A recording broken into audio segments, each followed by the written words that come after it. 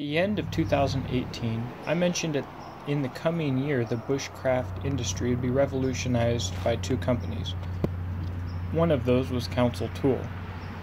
Recently, I received Council Tool's Camp Carver axe as a prototype to test and review. And what I want to do with you today is share with you the first adventure that I had with this axe and quickly go over the specs. So this axe head is made out of 5160. Uh, this model comes with a 16 inch curved premium hickory handle. In the future, a 21 inch will be available.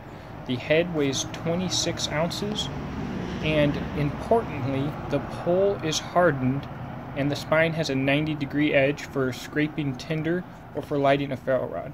We'll talk about that more later, but first, when I received this axe, I had just recently broken my ankle. This axe motivated me to get outdoors, but I had to think of a task that would be worth getting out there and doing, and that would look at many of the uh, necessities that I have in an axe in a single task. And so, uh, well, you know, I looked over, I wasn't feeling too great. I thought I might need some coffee, and it dawned on me that that might be just the perfect thing to go outside and do and see what this axe is all about. Since the weather was rainy and crappy, one of the first things that I wanted to do was clear out a little area and put up a little poncho. I wanted to be able to make my coffee while remaining dry and enjoy my coffee outside. This was actually a really important moment for me because I had been stuck in bed for about two months. So getting outside and going through everything that it takes to get out there and spend time out there was really important to me. Using this axe to clear the area out and to chop the, the supplies that I need and to get the firewood that I need as a first task for this axe was important because it gave me a balanced idea of how this tool was going to perform, not as a carving axe, but as a general duty uh, bushcraft pack axe. And it was very important because although I do plan on carving kuksas and spoons and other things with this axe, I feel like the most important attribute of this tool will be its versatility. And so I wanted this first adventure to focus specifically on the versatility of the axe. It's important to mention that the tool that I'm using is a prototype. Why?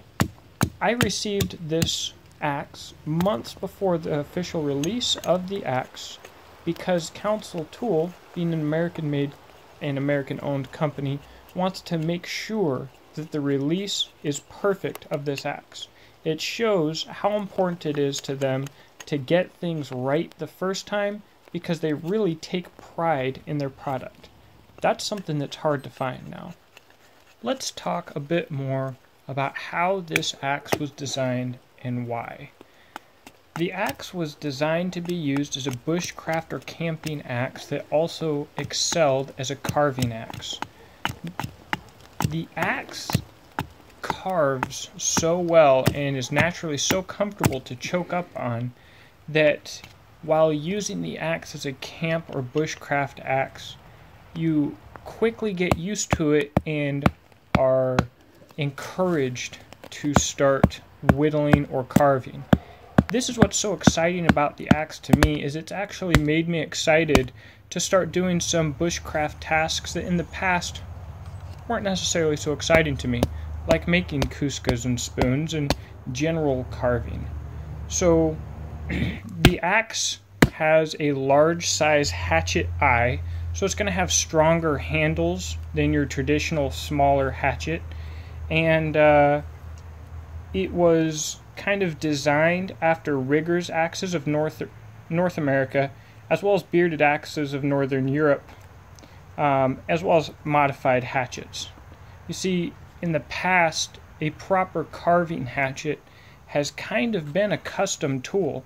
A few companies have attempted making carving hatchets, but usually there's something wrong with them, whether it's the length of the beard, the shape of the handle or where the handle meets the pole of the axe, the thickness of the edge, etc. this axe is designed out of the box to be simply ready to carve. On the flip side, it's designed to be robust enough so that carving's not the only thing that it can do. So you can go out, get it used, uh, get it dirty, bang on it.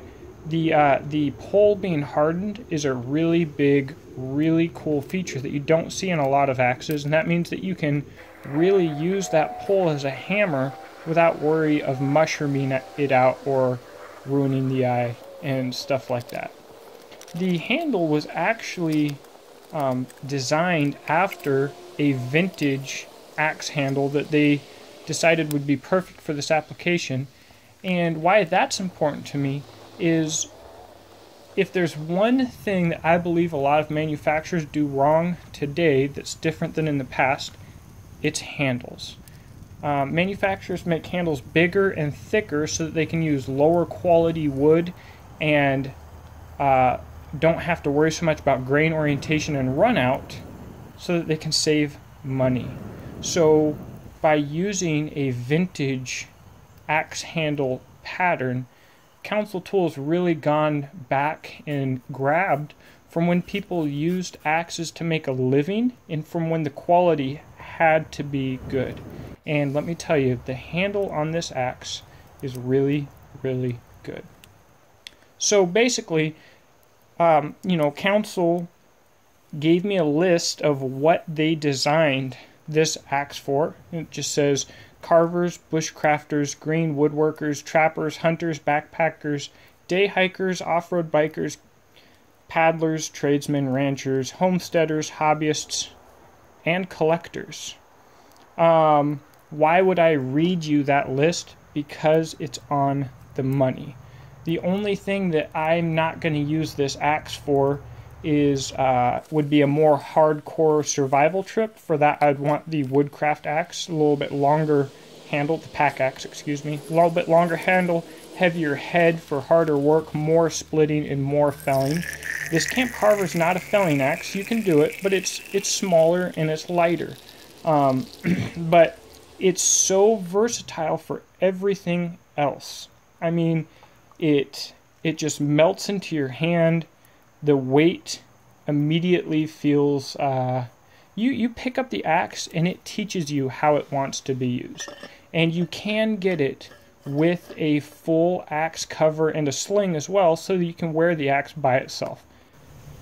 It's just such a versatile hatchet. It's really everything that a hatchet should be. So I'm enjoying a nice hot cup of joe very hot.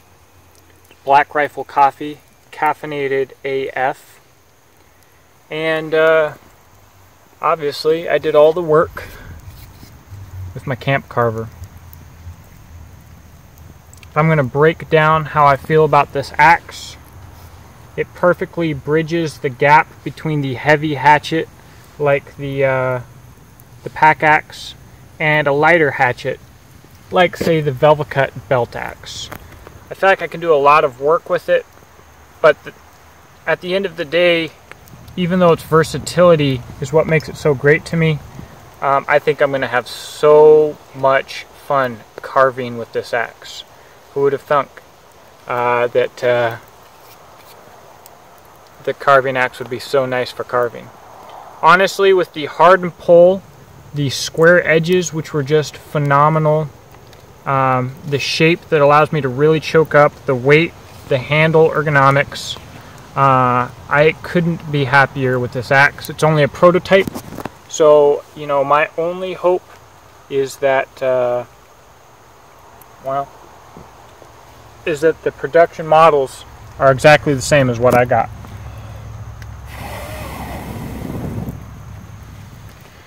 Anyways, thank you for watching.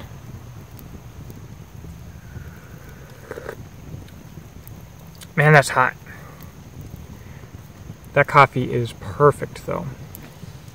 Uh, guys, check out Council Tool. Um, long story short, I feel like I've seen Council Tool grow in about the past two or three years from a company that uh, people brought up, but it was usually lackluster. Nobody's getting really excited. To a company that I think is going to dominate uh, the entire axe market, and not only that, it's not just going to be in America. I think that Council Tool is going to make people all over the world want an American axe, like people in America have traditionally wanted a Swedish axe. Um, you just, the hardened pole, the whole package really brings it together so well. Anyways, thank you for watching. Uh, I hope that you enjoyed yourself as much as I did. And uh, hopefully, uh, by the time you guys see this video, I will be fully walking. So uh, I hope that you have a blessed day. Before I go, real quick, just so you know, um, the tarp is um, Wilderness Innovations. Their uh, survival tarp can also be used as a hammock. Uh, what I've been sitting on is from Tentsmiths, the butt tarp for bushcraft utility tiny tarp. Um, the bag is the Hidden Woodsman, the Hidden Woodsman Possibles pouch. This is a Klean Kanteen 64 ounce with Beachin Tactical uh, bottle carrier. And this uh, coffee setup here is from Stanley. And my wonderful wife got me that for Christmas, I believe it was. So, uh, thank you all for watching, and I look forward to talking to you in the comment section below. I really look forward to having more adventures with this axe, and I'm telling you, as soon as I can walk, it's on. Um, so, uh, I'll talk to you guys soon. Thanks for watching.